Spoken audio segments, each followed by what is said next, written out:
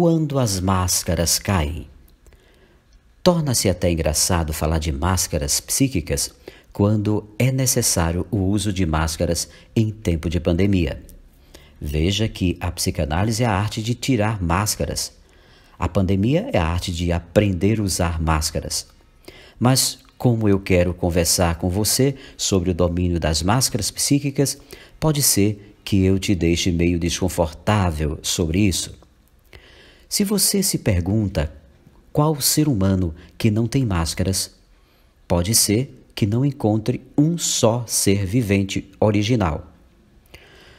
Ou seja, sem máscaras. Quando Jesus diz que é preciso ter um coração de criança para entrar no seu reinado, ele está convidando a voltar a ser original, sem máscaras.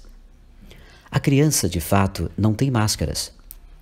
Quanto mais criança, mais original, mais verdadeira e ainda não implantou as máscaras. O caminho mais curto pode ser começando pelo domínio das máscaras.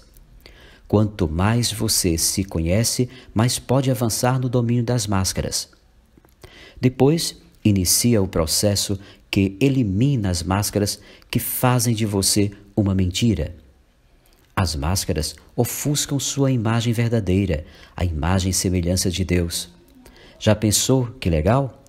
O escultor talha a madeira, fere a madeira, mas descobre uma bela imagem que mostra para o mundo a sua arte, o seu talento.